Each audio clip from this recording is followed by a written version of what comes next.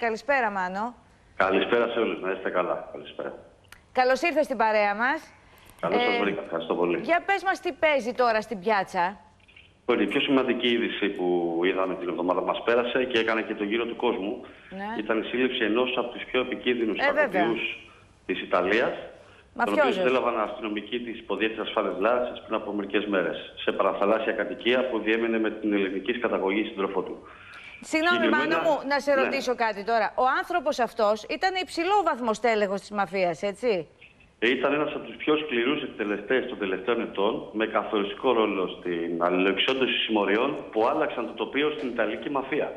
Νονός. Μάλιστα. Νο- ο οποίος νο, ακριβώς. ζούσε στην Ένα, δύο, Ελλάδα τρία. καιρό. Ήταν καιρό ο άνθρωπος αυτός εδώ; Ζούσε στην Ελλάδα τα τελευταία 7 χρόνια. Τι λες, σε ρε παρα- φίλε; Ε, έκανε τα πάντα να περνά απαρατήρητος. Φανταστείτε το ότι οι κατάφερε.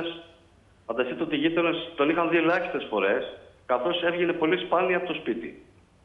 Κατάλαβες; Ε, Εφτά το όνομα χρόνια. Του, Κλεισμένος. 7 χρόνια, 7 χρόνια, ναι. Ε, δύο χρόνια αφού είχε έρθει στην Ελλάδα, μπήκε στη λίστα του Υπουργείου Ιστορικών της Ιταλίας ως ένας από τους πιο επικίνδυνους φυγάδες. Μάλιστα. Ο οποίος, Λοιπόν. όταν λες φυγάς, δεν είναι φυγόδικος, έχει, έχει, το έχεις σκάσει από τη φυλακή; Όχι, τον καταζητούσε η Ιταλία. Τον καταζητούσε η Η Ιταλική Ιταλική αστυνομία Μάλιστα. και είχε εκδοθεί Εντελώς στην Ιντερπόλ. Ιντερπόλ. Ναι, ναι, ναι. Είχε, Και είναι είχε- 7 είχε χρόνια έντομα- στην Ελλάδα ο άνθρωπος Ναι. αυτός και δεν είχε ανοίξει ρουδούν, δεν είχε καταλάβει κανείς τίποτα. Και τώρα έσκασε. Τίποτα, τίποτα. Έκανε πήγε τα καλά, πάντα ε; για να. Στη έκανε Λάρισα τα πάντα ήτανε; να παίρνει.